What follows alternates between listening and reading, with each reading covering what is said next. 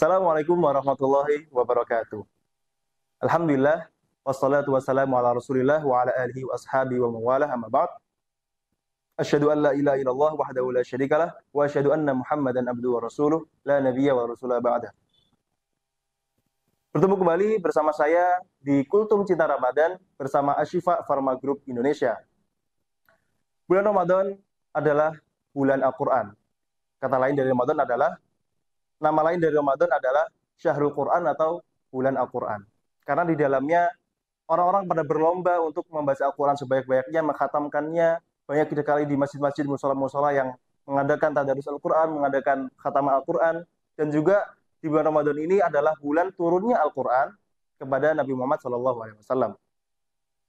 Bahkan Rasulullah sendiri pun ketika bulan Ramadan, beliau biasa setoran Al-Quran, simaan bersama Jibril alaihissalam 30 juz. Sehingga biasanya di masyarakat kita dicontoh dalam bentuk simaan Al-Quran, 30 juz. Tetapi ada beberapa istilah yang kita terima selama ini yang kadang membingungkan kita terkait kapan sih sebenarnya turunnya Al-Quran dan bagaimana Al-Quran itu turun. Dikutip dari kitab Mabahith fi Ulumil Quran karya Manau Qattan bahwa Al-Quran turun kepada kita dengan dua tahap. Tahap pertama adalah ketika Al-Quran dari Allah SWT berupa firman-Nya kemudian turun kepada Lauhul Mahfuz seperti sebagaimana di surat Al-Buruj, bal huwa Qur'anun Majid fi lauhim mahfuz. Bahkan ini adalah Al-Qur'an yang mulia yang tersimpan di Lauhul Mahfuz. Kemudian dari Lauhul Mahfuz ini Al-Qur'an ini terjaga sebaik-baiknya. Kemudian dari Lauhul Mahfuz ini, kemudian dari Lauhul Mahfuz ini Al-Qur'an turun setelah penciptaan alam semesta jadi, turun dari Lauhul Mahfuz kepada langit dunia atau di istilah Arabnya adalah Baitul Izzah. Ada yang mengatakan bahwa Baitul Izzah ini adalah garis lurus dari Ka'bah. Jadi ketika Ka'bah ditarik garis lurus ke atas, maka akan bertemu dengan Baitul Izzah dan di sana malaikat bertawaf sebagaimana manusia bertawaf di Masjidil Haram. Oleh karena itu, doa-doa yang ada yang dipanjatkan di Masjidil Haram akan menjadi mustajabah karena langsung terhubung kepada Baitul Izzah atau langit dunia. Jika kita mengamati sains, maka langit dunia ini adalah semua langit yang kita bisa amati atau bahasa Inggrisnya observable universe. Alam semesta yang bisa kita observasi.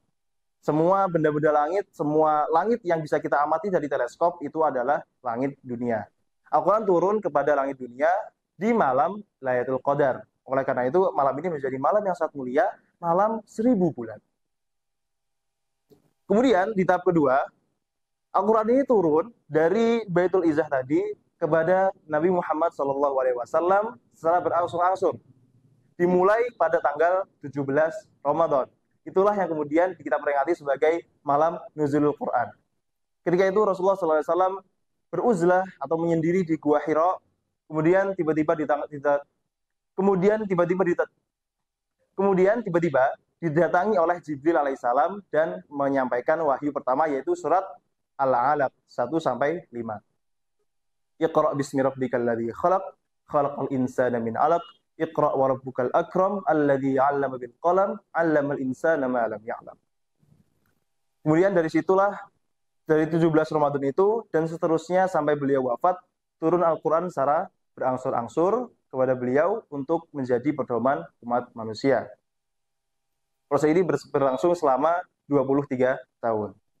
Itulah perbedaan antara Lailatul Qadar dan juga Nuzul Quran. Lailatul Qadar adalah malam ketika Al-Quran turun secara utuh dari Lahul Mahfuz kepada Baitul Izzah.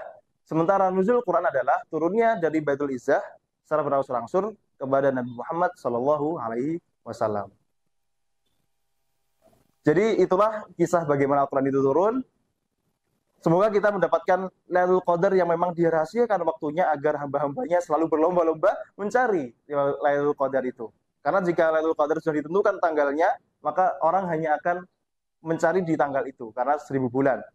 Maka dari itu mari kita bersama-sama berlomba-lomba untuk mencari Lailatul Qadar, kita berburu Lailatul Qadar di 10 malam terakhir Ramadan.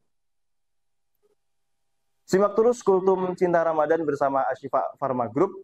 Wallahu alam bisawab. Assalamualaikum warahmatullahi wabarakatuh. Allahumma laka sumtu wa bika amantu wa ala rizqika aftartu birahmatika ya arhamar rahimin amin